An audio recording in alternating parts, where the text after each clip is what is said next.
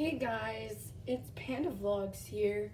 I have to do chores and I really hate doing chores. They're like so annoying.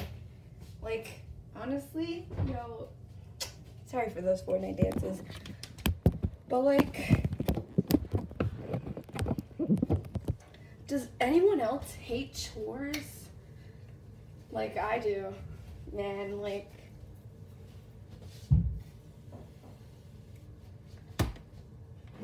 Gonna mop, mop, mop, mop, mop, even though it's not a mop.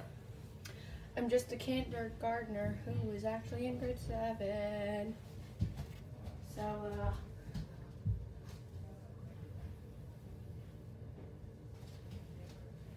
oh, it got on my Switch and my TV. Oh, noes! And on my controller. Oh, no, no.